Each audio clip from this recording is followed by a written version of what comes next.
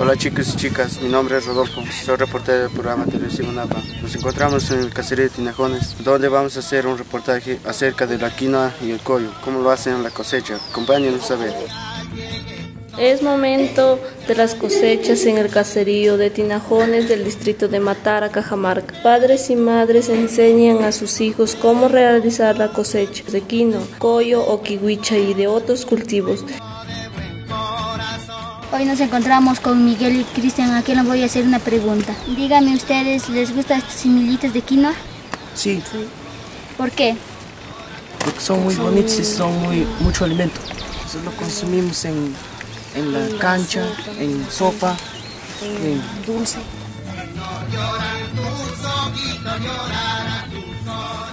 Nos encontramos con el señor Rogelio. Señor, cuéntenos en qué tiempo y cuál es el secreto para cosechar esta semilla.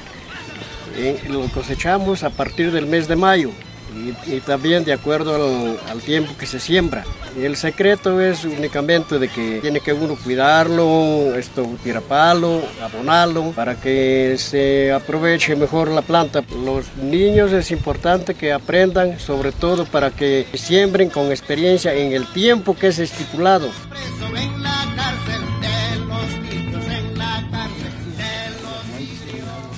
Nos encontramos con la señora Marga. A ver, cuéntenos cómo lo hacen el sobado de la quinoa.